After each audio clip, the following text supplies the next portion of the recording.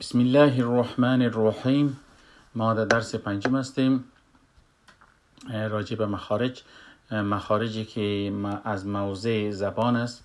قبلا ما گفتیم که 29 حروف عربی است که زبان در زبان ده مخرج وجود داره و مجموعا 18 حروف از این تشکیل میشه.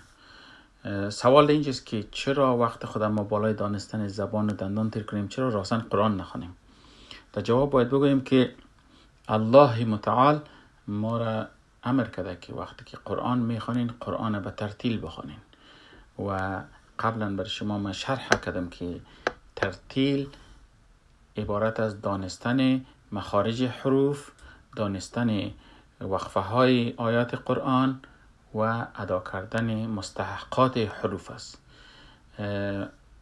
مخارج حروف اینجا می‌خوانیم و مستحقاتش در تجوید می‌خوانیم. خود مخارج حروف که هست حق حروف شامل مستحقات و صفاتش میشه. پس اول ما اینجا مخارج می‌خوانیم پشت سرش صفات حروف می‌خوانیم.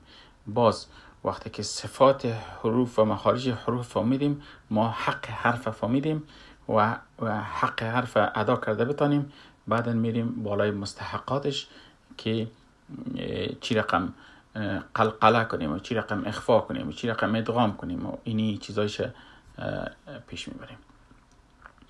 در این کلیپ شما دو رسم می‌بینین یا دو عکس می‌بینین؟ که یکیش مربوط زبان است یکیش مربوط دندان. در قسمت نامگذاری زبان به خاطر مخارج حروف عربی از چند قسمت تشکیل شده. ما ایره به شش قسمت نشان دادیم که قسمت آخری یا deepest part of the tongue قسمت وسط یا middle part of the tongue و نوک زبان یا طرف لسان که به نام of the tongue یاد میشه و پشت نوک زبان که زهر طرف لسان یا of the tongue یاد میشه و حافت لسان که کناره زبان یا of the tongue و یک چیز دیگه هم است که امی نوک نوک زبان ما به نام سر نوک زبان یا در عربی به نام رأس و طرف لسان میگن. نشان دادیم در رسم که بازیر ما پسان وقتی که ما میگیم که اینی حرف اینی مخرج داره اینی چیزها رو استفاده می‌کنیم. یک چیز دیگه هم است که ما در آخر زبان بالاتر نزدیک خوب نزدیک حلق ما یک چیز داریم به نام زبانچه میگن که او را در انگلیسی به نام یوویولا میگن که پسان ما میگیم که زبانچه چی, چی, چی کار می‌کنن. میریم بالای دندان ها دندان ها برای مخارج حروف عربی نامگذاری شده و نامای ازی با نامای تیبی و انگلیسی یک اندازه فرق داره اما بسیار زیاد نداره اگر ما دندان به یعنی دان خود تمامش دندانایش به می‌فهمیم که 32 دندان است. به چهار بخش تقسیم کنیم. اشت اشت اشت اشت سی دو میشه و اشت دانه دندانه که ما نامایش بفهمیم دیگه کلش تکرار میشه. خب ما دندان بالا طرف راست پیشروی در نظر می‌گیریم که دندان اولین دندان کلانش به نام دندان پیشرو یا ثنایا میگن. پالیش یک کمک خورتر است او را به نام دندان جانبی یا رباعیات میگن.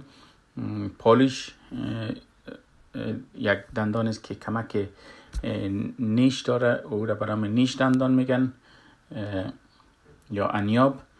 بعد از او یک دندان دیگه میایه که شکلش از نیش دندان کرده کمک کلانتر است. او را به نام آسیاب کوچک یا دواحک میگن. بعد از او سه دندان دیگه میایه که به نام آسیاب بزرگ یا دندانای علاشه میگن که او را در عربی به نام ادراس میگن.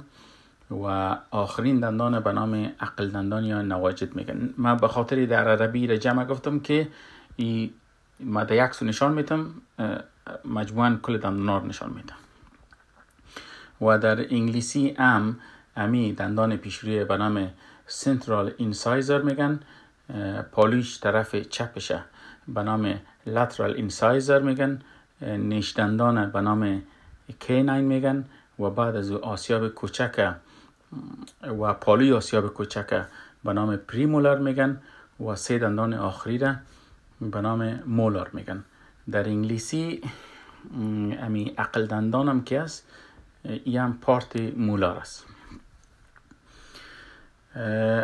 کوشش می‌کنیم که ما در درس ششم خود امی کامبینیشن زبان و دندان ببینیم که چطور با هم عمل می‌کنن و چطور ما می‌تونیم که مخارج حروف بفهمیم و حروفی که از این مخارج تولید میشه شرح کنیم. درس پنجم خود در اینجا توقف میتیم و درس ششم راجع به تلفظ مخارج و تلفظ حروف از مخارجش. باز شروع می‌کنیم. السلام علیکم.